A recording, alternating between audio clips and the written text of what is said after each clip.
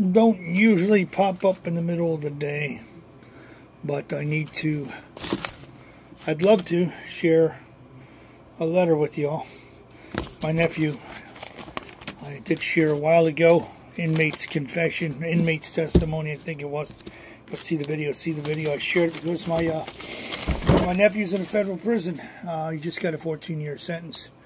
And uh, this is my basement, my workbench, so don't think you're in the, the doomsday dungeon, but uh, in the process of moving some tools around and doing some projects and some things. But I really uh, would like to put the address, I guess, in the description of the video, because I, I, I don't know why, but ever since I shared the first video with y'all, I really felt in my spirit, you know, that he I hope and pray that you know his conversion, his his, his uh, testimony is is uh, sincere. But I really feel like you know we need to. I would like to encourage him, and I hope that you out there. I mean, if you have a free time to to maybe just write him a letter. You brothers and sisters in Christ, you know, you folks who are in recovery, you folks that have been through hell and back, folks that have you know been in prison and survived prison. You know, he's uh, a very young man. His birthday's coming up in November. I'm not asking for money or charity or anything like that, but it would be nice if, if, especially for you folks out there who are in prison, spent most of their life in prison. He started going to jail when he was about 10 years old, and he's almost, he's in his early 30s, so he spent a good portion, of over 50% of his life behind bars. And this last one was a federal offense, so it's a really good stretch. And uh, like I said, that's that's his address there, but uh, can't really read it. I'll leave it in the description, but I want to share the letter with you. I really think. Um, it, the reason I want to share it with you is because it, it, it, gives me hope, you know, and I hope that it helps you and gives you hope, you know, as as uh, especially someone who's uh who's behind bars. So, to further ado, I'm going to read you the letter here. Here's the letter. Ah, oh, dear Uncle Joe, man, you made my day that you wrote me. You know, he finally got my letter so much to say to you. So first tell Luke that's my son early birthday. I will be 33 in November 20th and congrats on the find for the pickup. We told him about the army truck. And send me pics if you can.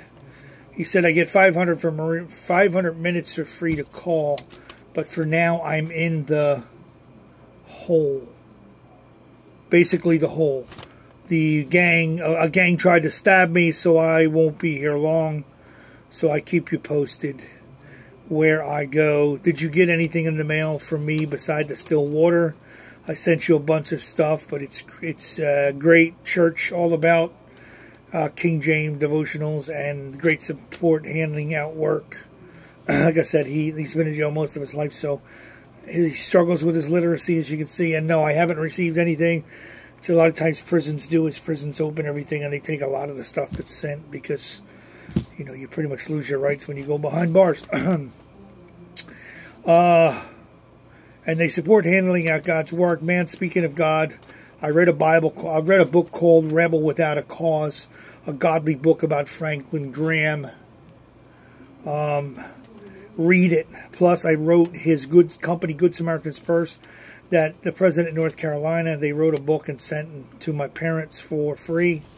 Plus, they 5-2 Bible reading plan with information on free Bible correspondence courses. Check it out, bad to the bone. My faith increases, and I'm not turning back on God now. Law is love and one being with the Spirit, so my focus I will be embrace the moment not looking back on my past, the Samaritan's Purse said, My experiences in jail will be useful in my walk with Christ in time to come. He has promised to strengthen you when temptation comes. 2 Corinthians 10:13 for this to say to you and the rest of the world. 2 Corinthians 5:16, 18. Therefore from now on we regard no one according to the flesh even though we have known Christ according to the flesh, yet now we know him, thus no longer. Therefore, anyone is Christ, he is a new creation. All things have passed away. Behold, all things have become new. And he goes on to say, I am Lazarus, risen from the dead. Jesus has saved me. I am new in God. Well, I love you, Uncle Joe, and God bless to you and your family. Hey, check this out. Ask this around and yourself. It's a good question. Now, if you can remember this, Answer this question when you write to him. Now, it's a good test, and of course, you will say, Yeah, I know, because I asked the question, you will find the answer to the end of this letter. Does God remember your sin? That's his question.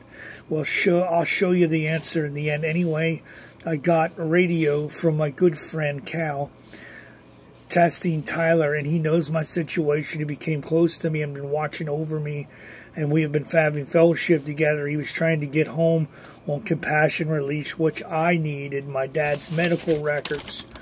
Uh, he's trying to get out on compassion release, my nephew, and um, he's not having too much luck because his dad really isn't that sick. So that just goes with the learning and growing in the process. Uh, I can go home early to take care of my dad. And I will fill out my motion and send everything to court, but my mom shut me down. I don't know why.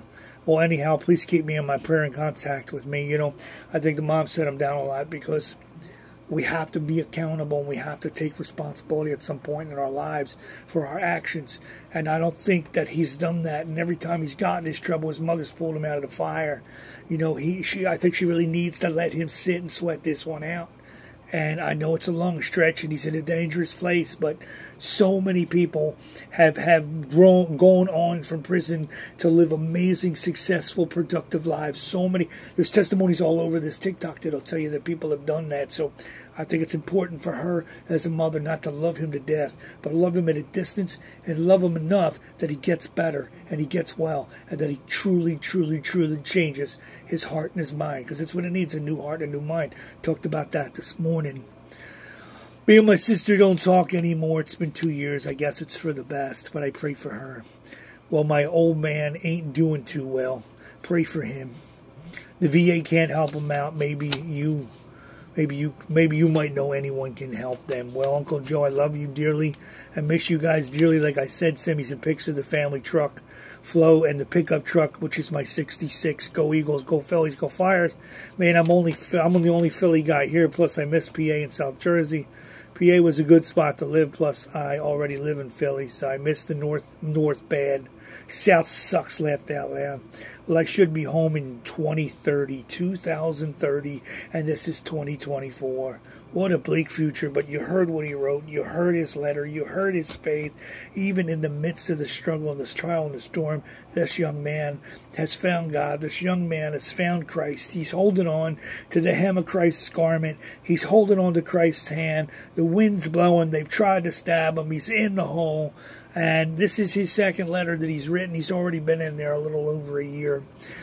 Um, I'm out of here. He's getting rid of federal inmates if, if a certain political opponent gets into, into play, which he's holding on again for hope to get out early, which I don't think it's going to happen. So that will be great. We'll keep in touch. Plus, I'll be in contact with Pastor Kev. I let Andrew, I know I wrote him also. I love you dearly. Read the back of the paper for the answer. So now here's the answer to that question. The question they asked is, does God remember your sin? Of course, you might say, well, yeah, guess he would he don't. In the Old Testament, Isaiah 43:25, I, even I am who blots out your transgression for my own sake. I will not remember your sins. So then go to the New Testament, Hebrews 10:17, Then he adds, their sins and their lawless deeds I will remember no more. Praise God. For example, you might make your wife mad and then she lets it go down the road and then she brings it back up. But for God, it's like I don't know what you're talking about. I think that's amazing. I'm heavy in my Bible and God showing me a lot. I don't read. I, if I don't read the Bible, I feel off balance. God is going to get me through the storm. God bless and have a blessed day. Love always. So I really needed to share with you that. I needed to share that with you, and I'm going to put the address down in my video cut off. Just know that.